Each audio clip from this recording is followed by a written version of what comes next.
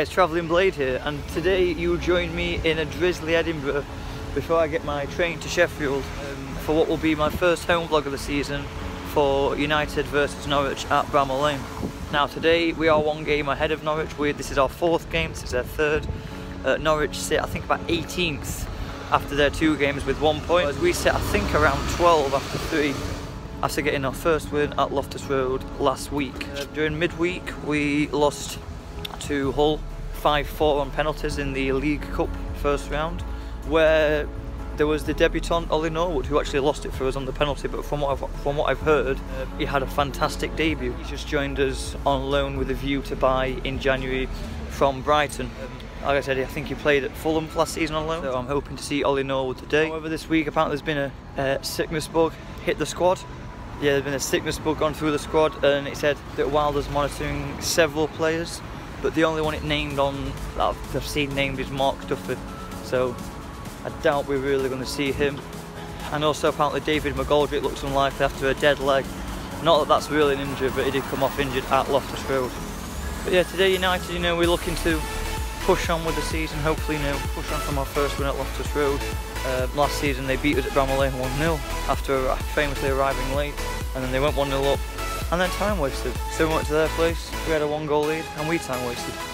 So the Norwich fans weren't exactly impressed with us or Wilder going out captain's watch. I think it'll be a difficult game. I think to see us conceding one, hopefully, you know, I can see it realistically like a 1-0, maybe even losing 1-0, quite pessimistic to be honest. I think maybe if we hadn't got Duffy, we might have as much of an attacking edge. I can imagine Clarke and Sharp starting maybe. Maybe he'll play Woodburn instead of Duffy, but hopefully I'd like to see Noah today. Just need to crack on and get our season properly started now.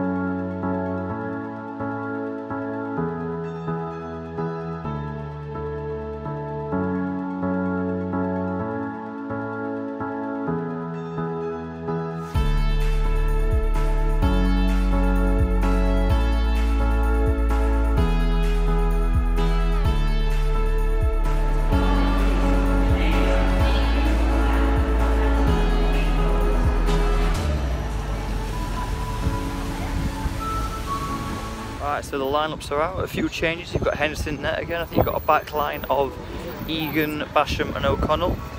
Wing backs of, I think it's Freeman and Stevens. I know it's definitely Stevens, I think Freeman's on. Uh, midfield of what I believe is Fleck, Norwood and Woodburn, and then Clarke and Sharp. I'm looking forward to seeing the midfield in action. With Duffy being ill, I thought Woodburn might come in. Um, but obviously it's the first time I'm seeing Norwood and obviously Fleck's probably my favourite player, so looking forward to seeing how the midfield works out and also it's nice to see him Sharp back as captain because I don't think Clarke's much of a captain really.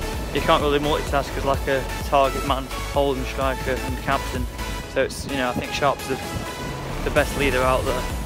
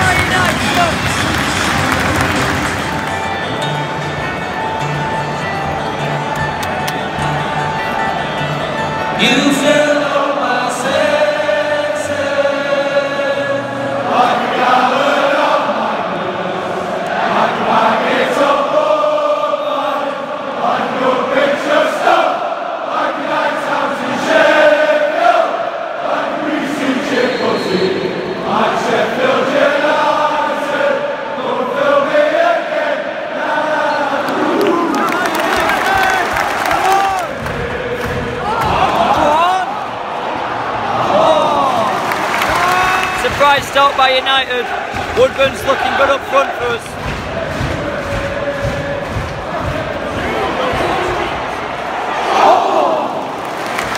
Now it's just starting early this year with the time wasting tactics. Seven, seven minutes in and the keeper's like taking way too long for his kick. So it started early this year.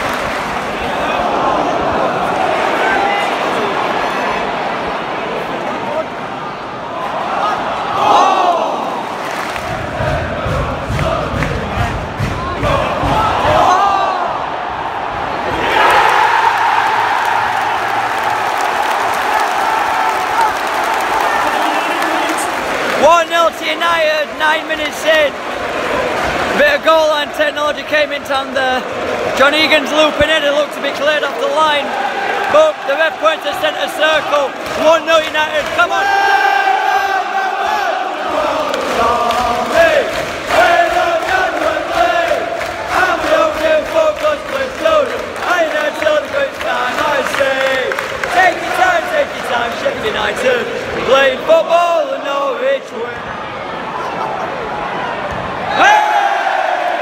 Playing some tasty football there, Ollie Norwood and Fleck up pinging some great passes on. Well in back! Shit.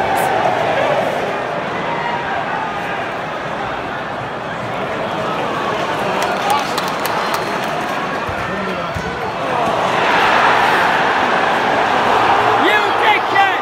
You fucking dickhead! Fucking hell.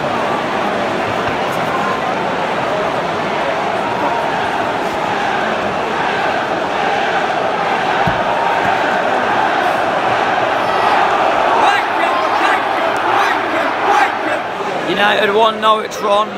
Fucking could have called it. Jordan Rhodes scored and he's just celebrating in front of the Kop. Fucking pig.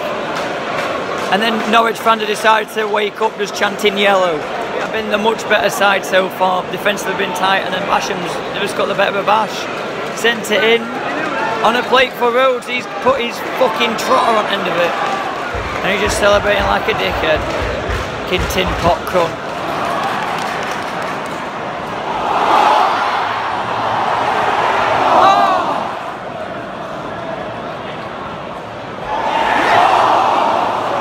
United are coming so close now to going back in front.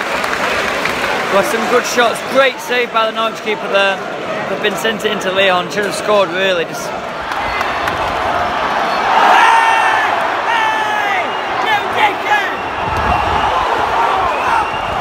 Come on! Fucking well in Woodford. Go on, Jack! Snap the cunt! Fuck off! Half time, United 1, Norwich 1. We started off really well, seemed to be in control of the game. Playing some, having some great passes. Egan and O'Connell winning everything air. Some great tackles from lots of Woodburn and Bash. Seemed to be in control, creating some good chances. Uh, scored, it was a close goal, you know, a bit of goal on technology came. But then, um, I don't know who it was, but you know, they just did Bash a bit, you know. They had Bash in their pocket, sent it in, Rhodes just puts it in from about three yards out. And then celebrates in front of the Cot, which went down like a fucking lead balloon. But it's a shame. I mean, after that, the next five ten minutes, like Garage again, we had some great chances. I don't know how we didn't score, but we haven't made the most of our chances. We've wasted them really. And Norwich looked like you know, you don't look too dangerous on the break, but we do look like you know, with United, you think we could slip at any minute. So, despite the, that's despite the defence being good for most of the first half, really, just when we conceded. It's, a shame they could have scored. It could have been quite a good half, but you know, it's, we just got to see what we can do in the second half and you know crack on to try and get the three points. At half time, United have brought Ben Woodburn off for Ryan Leonard. I thought Woodburn had played well unless he's picked up a knock, but I don't know what Wilder's thoughts fell behind.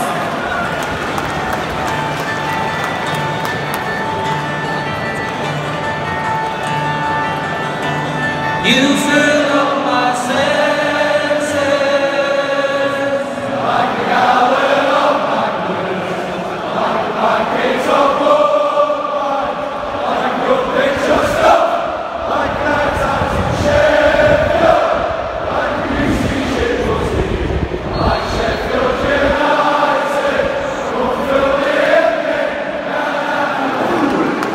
United! Oh, O'Connell came so close there with an acrobatic e- effort. I don't know how it happened next minute, it's almost in. But we're starting to get there again now. Jeez. No trust almost took the lead then. They seem to be winning most things in the air now.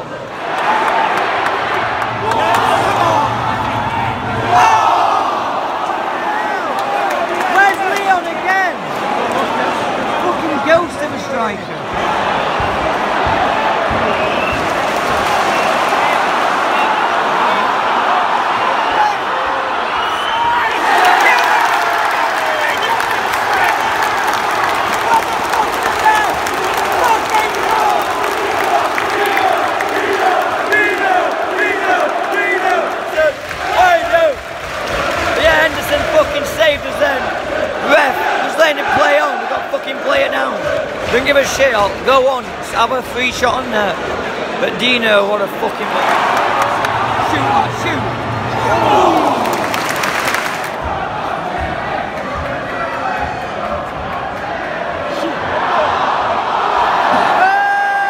How Norwich didn't score there. Fucking hell, that was close.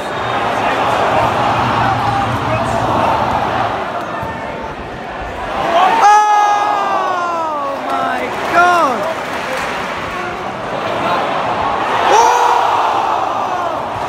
Again! Yeah, again, we just missed another fucking easy chance. Come on!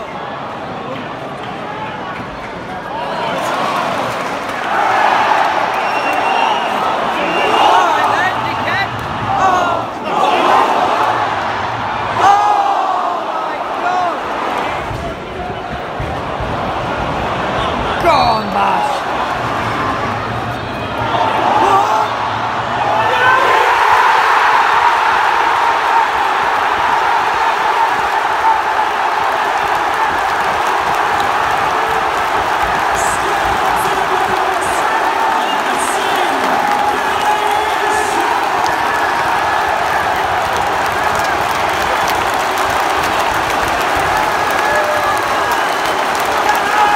Yes! Yes! Yes! Yes! Yes! Fucking come on! United 2! Norwich 1! Shove your time waster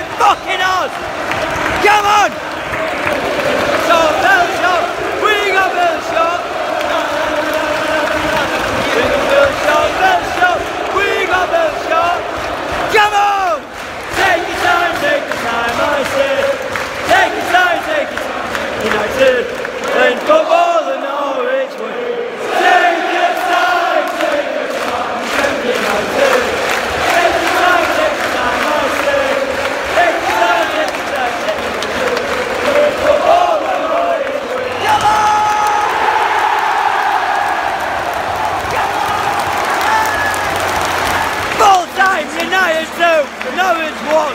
Fucking Nanny Kurtzman a white shot. Fucking come on! What a game! What a game! Alright, so full time United 2, Norwich 1. What a, it was a very entertaining game. Um, United had a lot of chances. Obviously before all the dramatic ending, I thought the first 25 minutes, we seemed to be very much in control, creating quite a lot of chances. Uh, we seemed to be quite defensively tight. Egan was heading everything. And people like Fleck and uh, Woodburn to be throwing in some nice tackles and we looked really hungry for the game, had a great desire. Then 25th minute, Bash got done. They just sent it in and Rhodes finishes it, which you know, call him, you know, I can call him what I want, but he's a proven striker. Then we, you know, after that we had like a good five, ten minute spell where we looked really likely to score, and I think Clarke should have really. Uh, we just seemed to waste a lot of our chances. We create a lot of good ones, but we wouldn't take them like, you know, we wouldn't get the ball on target, or when we did, it wasn't hit with enough conviction to actually be, you know, actually to finish it. Second half, Norwich seemed a bit more confident. Um, than they did at the start of the first half. United did come onto them in spells. Norwich had, I think, what I can remember, two uh, really good chances where you're thinking, shit, they should score it. At least two, if not three. Um, we had another, you know, few more chances. Headers just going past the post from corners, but yeah, Norwich could have um, easily have scored. Also, when Fleck went down, um, I believe it was like heavily offside for Norwich, uh, but Dino, in Dean Henderson in there, pulling out the save. Um, we were all convinced it was going to be 2-1 Norwich, but Henderson he managed to, you know, it was it was three on one, three on one. I think it was like massively offside, but Henderson's, you know, managed to cancel out the poor, cancel out the poor officiating. I think maybe that you know spurred us on that moment, and then I think I'm not sure who it was, but lovely ball over to McGoldrick. McGoldrick like flicks on, and then Billy Sharp does what Billy Sharp does best, scores winners for Sheffield United. Um, late goal. It's nice to be on the correct side of a late a late winner for once com- compared to the end of last season where we seemed to lose several games due to late late goals um, and then the scenes after that sensational the fact that like Dean Henderson ran the length of the pitch just to train in the um, celebrations with the lads. What a boy. I absolutely love that man. It was nice to be on the right side of a late winner for once. I think that moves up to eighth now. So yeah, we will drop inevitably when the rest of the league catches up on games because we've played one more yeah some, Ryan Leonard played well. Oh, I think for me man of match was um, Fleck, I think, but loads of people played well. Freeman was great, Henderson great, Sharp was great. Sharp was great even before the winner. Clarke, a bit like Clarke, you know, good in parts, but not not always. Um, yeah, things seem to be turning up. I'm just hoping we can keep it on and uh, push on, hopefully with some new signings. But anyway, I've been the Travelling Blade, and I'll see you for the next one.